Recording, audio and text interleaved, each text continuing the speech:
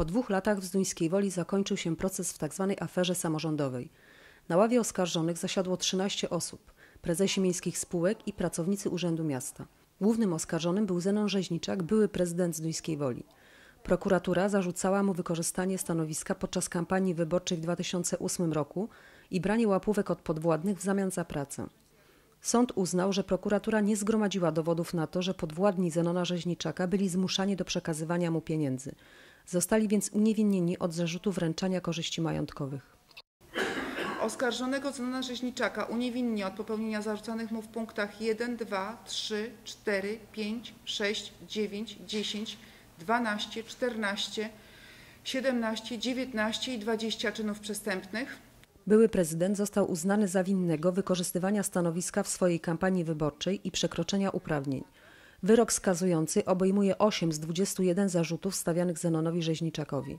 Na podstawie artykułu 85 KK i artykułu 86 paragraf 1 KK w miejsce wymierzonych oskarżonemu Zenonowi Rzeźniczakowi w punktach 2, 3, 5, 6, 7, 8 i 9 jednostkowych kar pozbawienia wolności oraz w punktach 4, 7 i 9 jednostkowych kar grzywny wymierza mu jedną łączną karę 2 lata pozbawienia wolności oraz 450 stawek dziennych grzywny ustalając wysokość jednej stawki na kwotę 200 zł.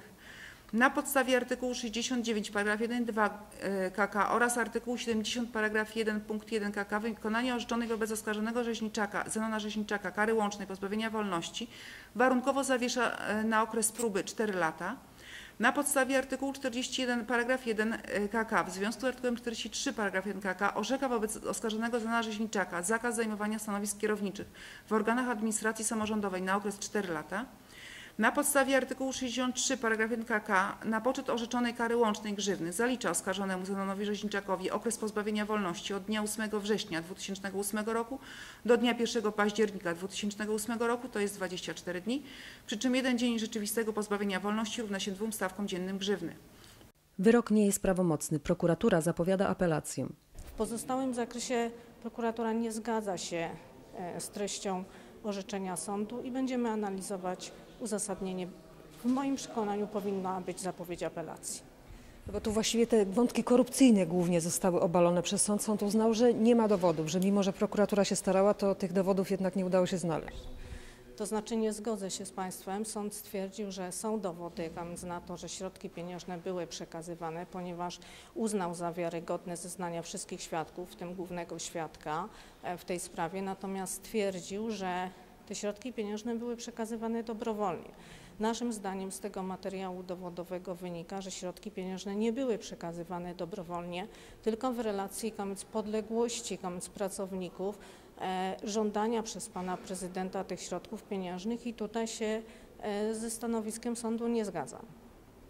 Wobec byłych radnych, którzy podpisali się pod ulotką szkalującą zdaniem prokuratury senatora Marka Czcińskiego, sąd orzekł warunkowe umorzenie postępowania. Każdy z nich ma zapłacić 100 zł grzywny. Spodziewałem się po prostu czystego po prostu uniewinnienia i zakończenia tej sprawy, a nie warunkowego umorzenia postępowania. Także moim zdaniem to zaskakujący, zaskakujący wyrok, zaskakujące na orzeczenie, może tak nazwijmy, dosyć srogie, jeżeli chodzi o taką o taką sytuację, jaka zaistniała i no, no dziwne jest po prostu, to, to, moim zdaniem jest to dziwne i rozważam e, wniesienie apelacji co do, co do tego orzeczenia, bo uważam się za człowieka niewinnego, nic złego nie zrobiłem, nadal tak podtrzymuję. Zenona Rzeźniczaka nie było w sądzie. Nie było też jego obrońcy, więc nie wiadomo, czy będzie odwoływał się od wyroku.